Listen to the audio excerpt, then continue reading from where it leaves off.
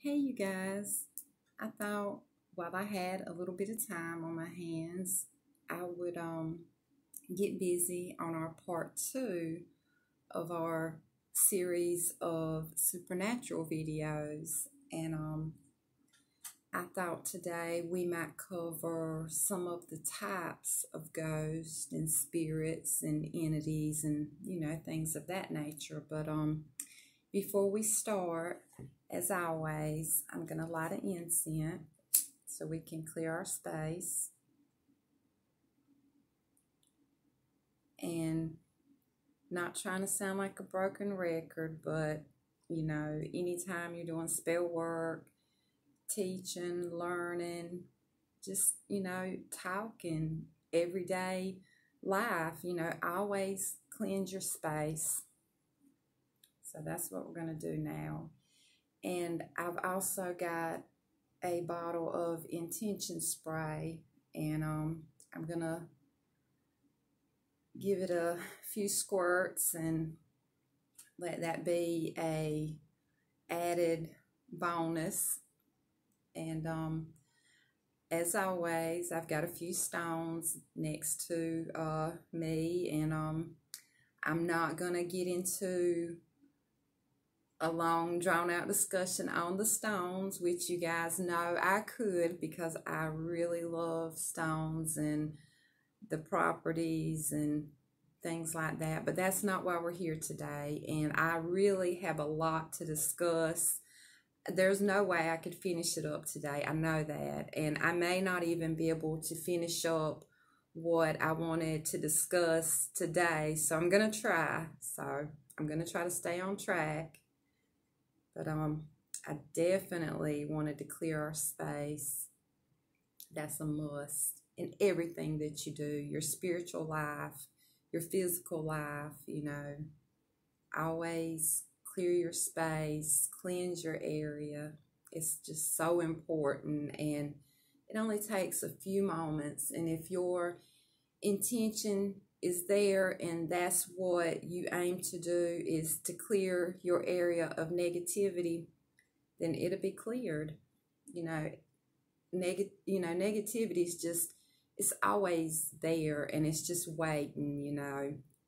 So always cleanse your space and get rid of all those bad vibes and um got my little bowl here and I've got a few little herbs that I went out and picked maybe a week or so ago. I've had them long enough for them to dry out really good, but um, I've got a piece of moonstone, and it's a raw piece.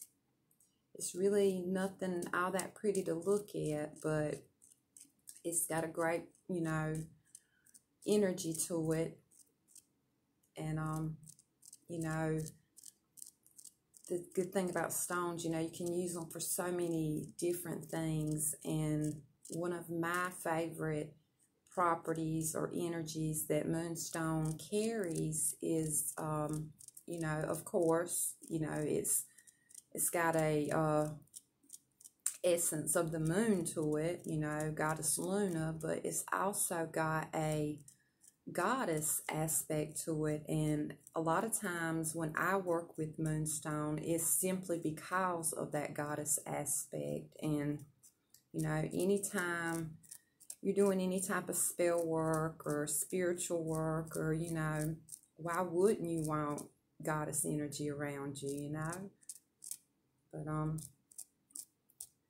we've got our moonstone, and I've got just a little small piece of rose quartz and um I've been big on rose quartz lately.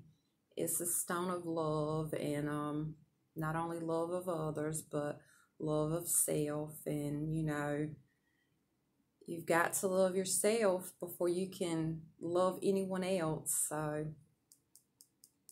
rose quartz you know and not only that the main reason I grabbed it today is because I'm doing what I love. I love sharing, you know, my knowledge. I love learning. you know, anything that is of my craft, you know, anything that is of my path, you know, I just, I love my craft. And I figured, you know, rose quartz is the perfect stone of love. And that's what I'm doing. I'm doing what I love. So I grabbed the rose quartz and um, I've got my most favorite stone in the whole wide world and it's my twin flame clear quartz point and um, I have it because of a personal reason but it has a lot of good properties as well and um, you know not just to find your twin flame to keep your twin flame but you know, it's quartz, and quartz is a stone of clarity. It amplifies any other stone that you're working with. It, um, I lost my train of thought. I was looking at my stone. but, um, it's a stone of knowledge. It helps you to see things clearly in order to learn. It helps you embrace things spiritually and um, I really truly included it today for its uh, amplifying property because I thought, you know, along with my other stones, you know, it would enhance their properties. Like I said, each and every stone has so many properties, and you know, it doesn't matter what a book says, it doesn't matter what someone tells you.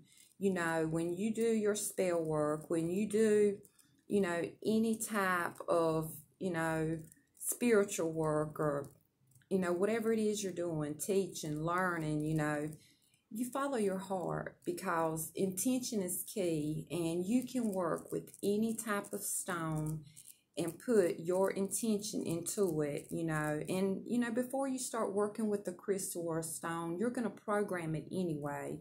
So, you know, it's going to be yours. It's going to have your energy and it's going to know your heart. So you don't always have to go by what a book tells you that particular stone is for.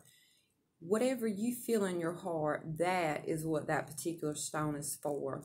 And like I've said before, you know, you can pick a, a just a rock up out the yard and place your intention in it and you know it's just as powerful we're going to move along and um I do have one other stone and um it's excuse me it's clear quartz point as well but I made it into this bullet casing and um I made it originally as a charm for a necklace but the more I worked with it I tend to use it when I'm doing you know any type of protective magic. And for me you know is the clear quartz point and you know it has that point and that point helps you to direct that energy you know that you're working with but for me it symbolizes the bullet you know the bullet casing and this would be from a gun that I own. And of course my gun is merely for protection. So this little pendant that I made when I do any type of protective spell work, I tend to grab it and I use it. And it may be small and it may be little, but I know what it's capable of. And size does not matter when it comes to stones. But, um, you know, I, I use it kind of like a wand because, you know, anything with a point, you can direct the energy, you know, just like a wand. But I thought with the topic that we're discussing today, I would include it, you know, for that protective quality. And this is just an intention spray that I made. It's got some clary sage. It's got a little bit of peppermint and a little bit of lavender. And then it's got some more clear quartz points and some smoky quartz points in it as well. So it's super duper protect, protective spray. That's a mouthful to say, isn't it? And I'm just going to spray a little around. And like I said, you know, with these sprays, when you make them, when you make something with your own two hands and your own intention from the heart, that's the best, you know, the most powerful. And not only that, you're saving money and, you know, you can make it and, you know, everyone likes something different. So, you know, you can adjust it to the smell, the fragrance that you like. But um I would like to uh take a very quick moment and I want to give gratitude to the goddess. I just feel the need to do it and I always try to do what I'm called to do. So that's what I'm going to do now and um I just want to, you know, tell my goddess, you know, that I humble myself before you and I offer you my gratitude for all that you have blessed me with physical, spiritual gifts. I'm just forever grateful. And I offer you my gratitude in perfect love and with much, much gratitude. And so it shall be and I just felt the need. So I think that when the goddess calls us to do something and it's within our means and we can do it, we should do it. And if our heart is leading us to do something, I think we should follow our heart because, you know, that's an important key in magic as well.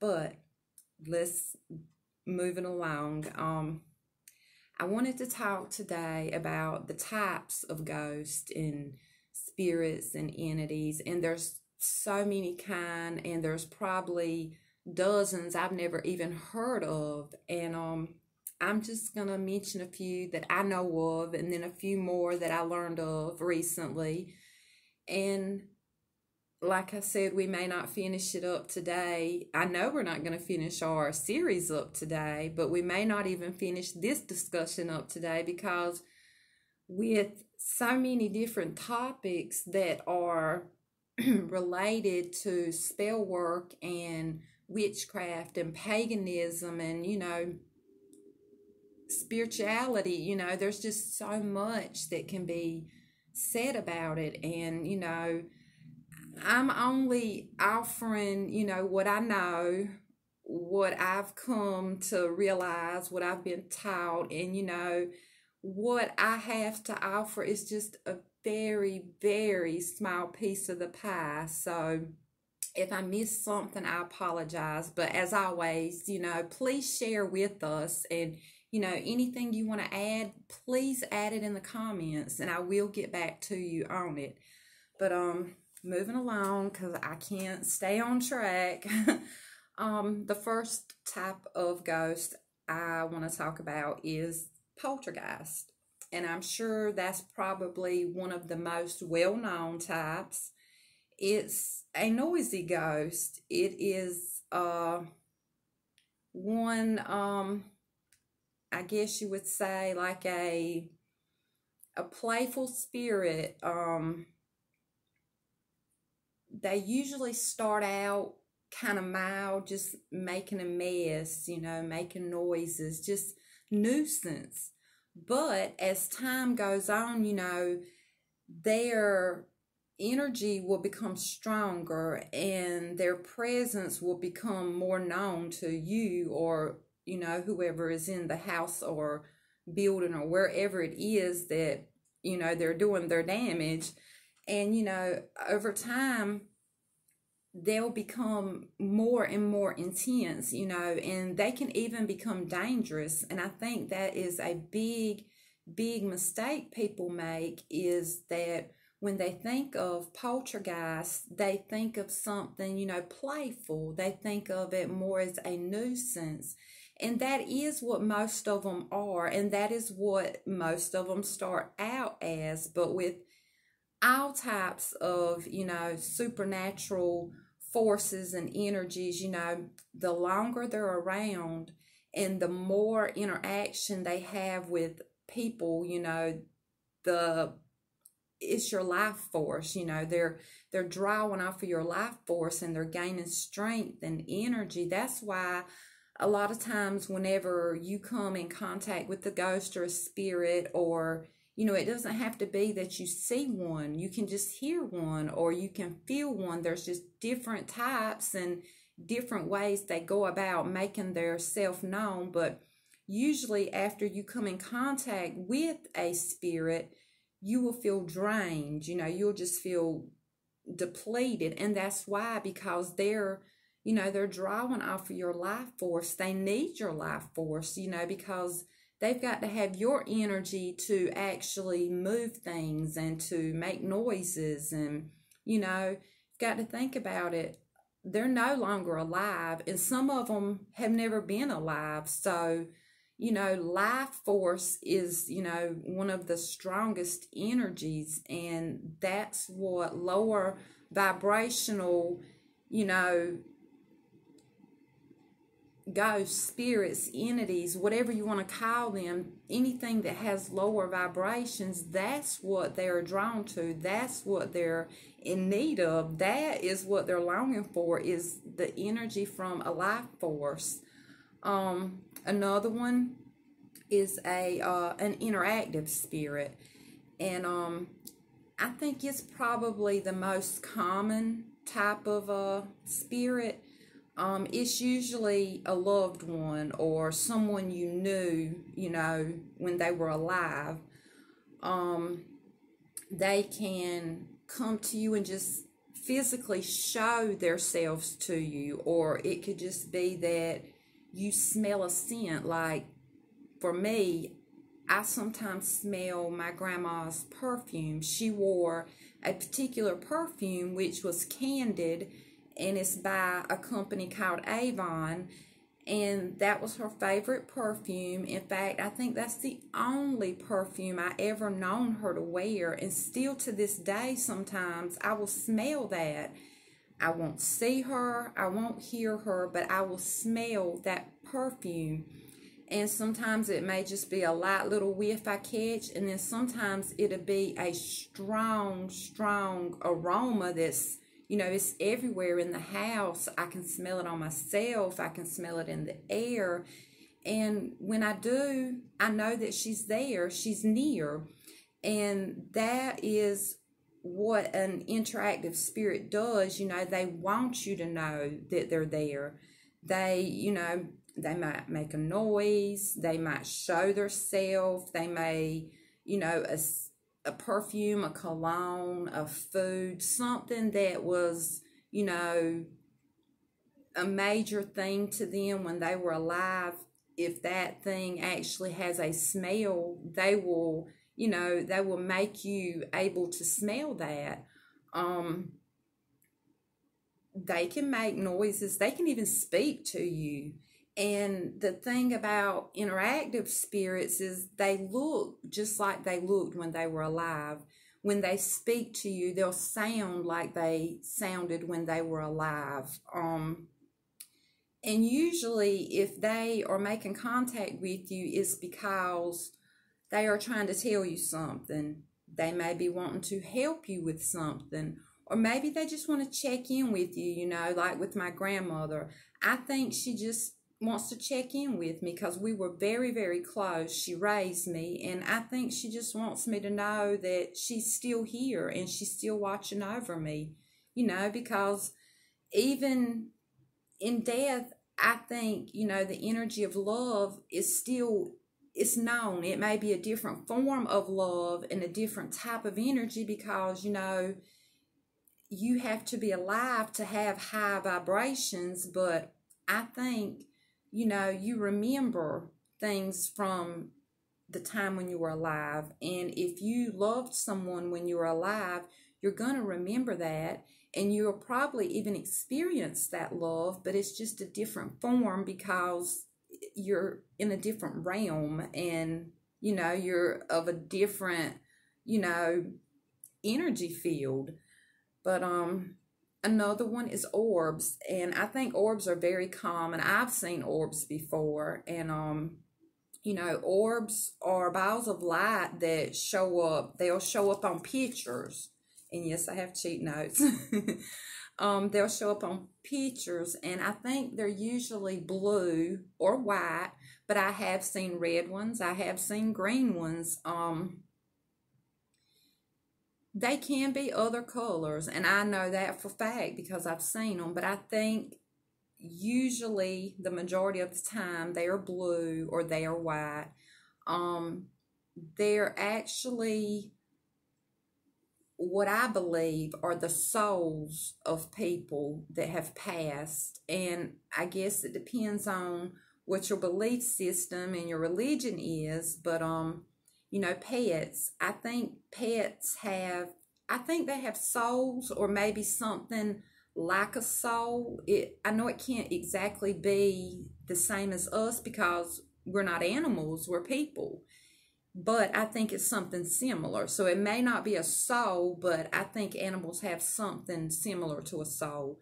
And I I do know that when you see an orb, it's because it's a an animal or a person. It's it's something that had like a soul or had that type of energy or that type of aura or you know for lack of a better word i'm no a paranormal specialist or investigator i'm just sharing some things that i know and that i've learned with you but orbs you know whether it's a person or animal i i do know that if you see an orb you'll see them mostly you will see them with your naked eye but you'll mostly see them you know with cameras on film on video.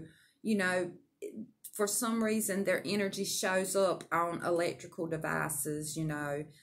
Um and i do know that um the longer an orb lingers you know each time that you see it the more often you see that particular same orb and the the longer that particular orb lingers it gathers more and more energy. And the longer it lingers it's able to transform into a full body apparition. And you know far as what it may look like it varies from you know the person it was or the animal it was. It it varies. And you know energies um the place that the occurrence happens it has a lot to do with it. You know a lot of things you know factor in. So the orb may look like a giant orb. The orb may look like a it may look like light but it may have the shape of a a human or it may have the shape of the animal or it may have a totally different shape. It just it depends. And um another one is funnel ghost.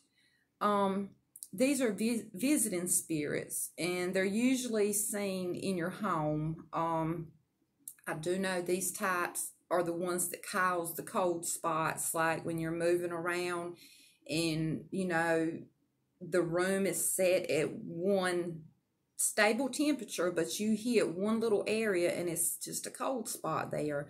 Well that's probably a funnel ghost. And um and the reason they're called funnel ghosts is if you see it it looks like a funnel. It looks like a swirling funnel. Um and they're also caught on film. I do know that much about them. I don't have a lot of experience with them, but I do know that much about them. You can catch them on film or video. Um, ectoplasma. Um, it can be a mist. Uh, it can be a like a, a cloud looking type figure. It's usually a type of ghost and it's a floating type of you know spiritual body. Uh you'll see it floating above ground. Um usually um they move pretty fast i know that and um they can stay in one spot and they will appear to go through walls and go through doors or just go through closed windows. I do know that much about them. Um, another one is uh, a demon possessed human. Well, it's actually a human, as you would guess, but they are possessed by a demonic entity. And um, it's it's nothing more than an evil spirit and it enters a person and when it enters them it controls them. It controls their conscious energy. It can cause them to say things and it can cause them to do things. It can make their body move. Um it's a very very strong force and um it's a very dangerous force. It can harm the person. It can harm other people it can even kill people and including the person that's possessed. Um another one is a demon that's just a supernatural being and um it can attach to objects. Uh i guess like the movie annabelle things like that when you see the demon entity that attached to that baby doll. Well that's what the supernatural being of a demon is they attach to objects they can morph into any shape they can show their true presence um, they usually, if you see their true presence, it's usually just a black mass. Um, and they're they're very powerful as well. And their main objective is usually to cause harm or death. So I don't suggest if you want to go out ghost hunting or you're curious, I don't, you know, I don't suggest you mess with that type of presence, especially if you're not experienced. Um, another one, shadow people. And I've had a little experience with shadow people. Um, these are the the things you see out the corner of your eyes, and I think a lot of people have had experience with these. Um, you know, usually you see them out the corner of your eye, and as soon as you look, they're gone. And um, if you do see one face to face, they're usually like a hooded figure um, or a black silhouette. And, you know, if you are able to get close enough to look into their face, all you're probably going to see is a black void, you know, a dark void. Um, and they can fade into walls, they can fade into windows, TVs, they can just fade into the darkness. And I experienced this when I first opened my third eye. I would experience sleep paralysis, is how it would start. And I think I would be lucid dreaming because I would be awake, but I would be asleep and I would I would get that par- paralyzed feeling come over me. And to me, you know, it was terrifying because I couldn't control my body. I couldn't move my body. And I seen that. And when I was finally able to move, I seen the shadow person and they just they faded out my window, my bedroom window right there beside me. They just faded out. And um I'm wanting to talk more, but I'm I'm getting close to the end of my uh my storage on my camera, so I guess I'm gonna cut it short and possibly I'll finish up the types of ghosts tomorrow. I'm sorry guys, but it is what it is and I hope I said something that you resonated with, something that you you know, know something of and you can share with us, drop a comment. Maybe I said something that you didn't know. Maybe you learned something. But if anything at all I said, you know, you resonated with, you like it, you know, like and subscribe. And please, please come back for the follow up to the types of ghosts. And then we'll move on to our part three and as always, intention is key to manifesting any of your needs and desires. And remember, if you believe, then you will receive. And I'll talk to you guys later. Bye.